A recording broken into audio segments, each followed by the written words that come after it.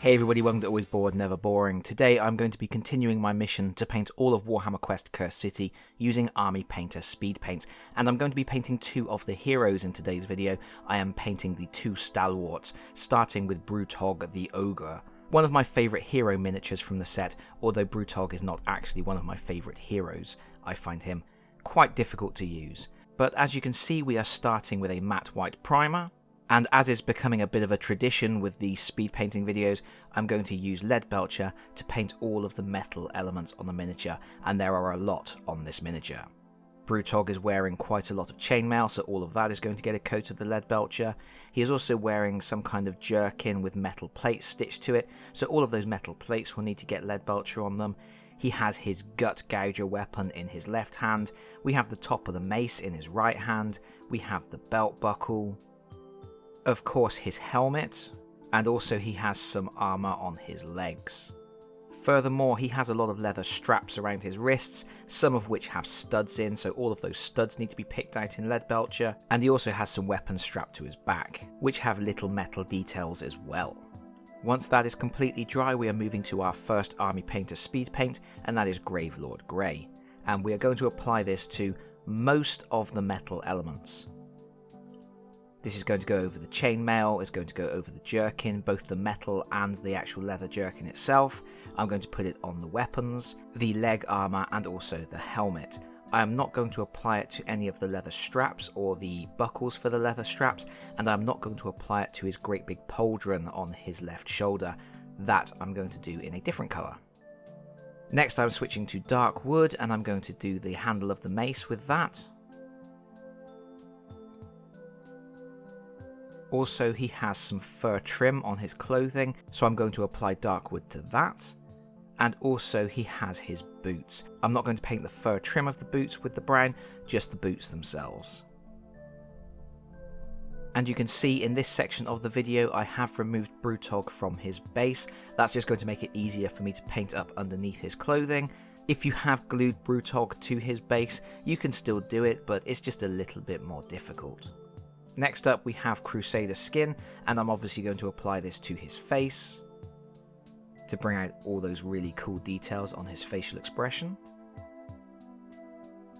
And it goes on his neck and also on his arms, obviously. And I'm putting quite a thick coat of the Crusader skin on him here, just because I don't want his skin tone to be too pale. Next up we are moving to hardened leather, and we're going to apply this to all of the leather straps around his wrists, we're going to apply it to his belt, we're also going to apply it to any buckles that haven't already been painted with Gravelord Grey.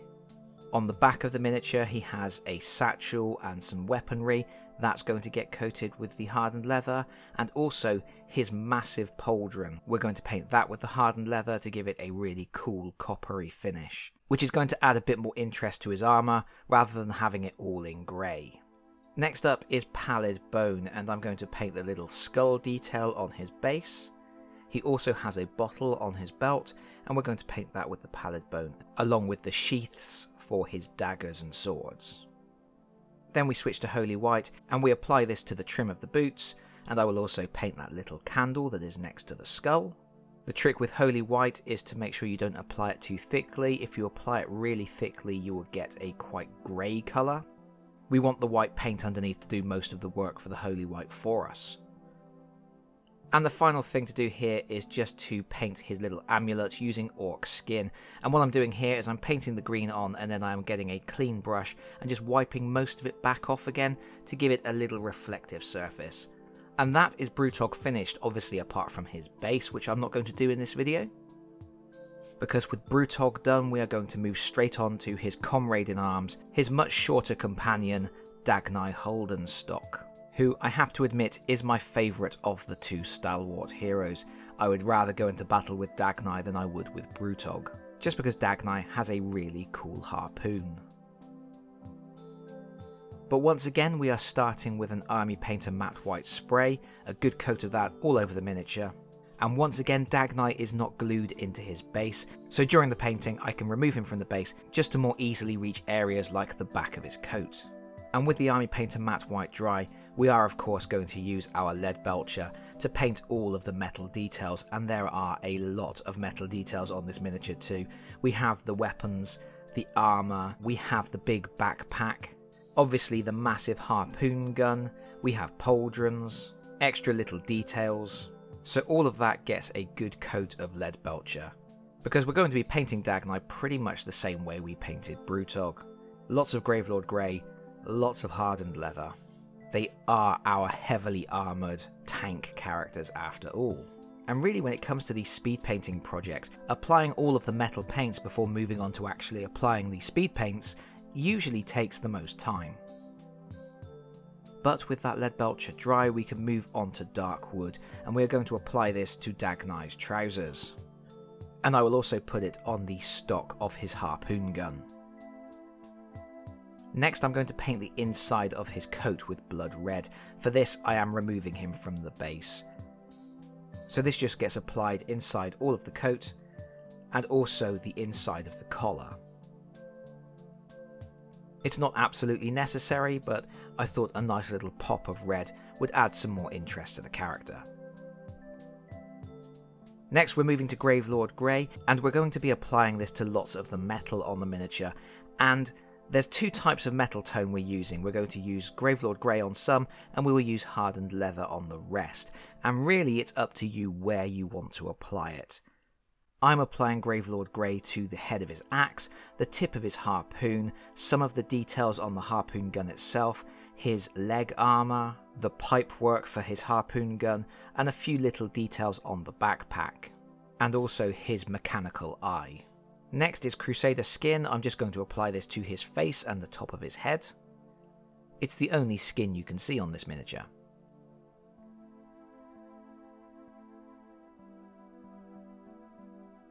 And then I'm switching to Grim Black and I'm just going to apply this to his gauntlets. I could have done these in grey or in a brown, but they are an opportunity to add some additional colour if you want to move away from the muted tones of the palette that I have chosen.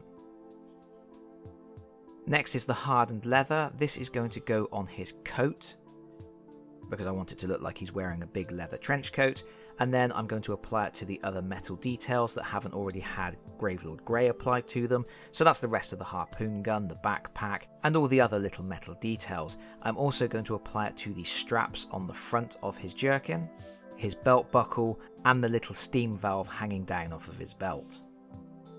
Hardened Leather continues to be one of my favourite Army Painter speed paints, if not my favourite, and I think it always gets really good results. Next I'm switching to Pallid Bone and I'm going to paint the little scroll that is hanging off of his waist. He is also, you may have noticed, standing on a skeleton, so the skeleton will also get some pallid bone applied to it.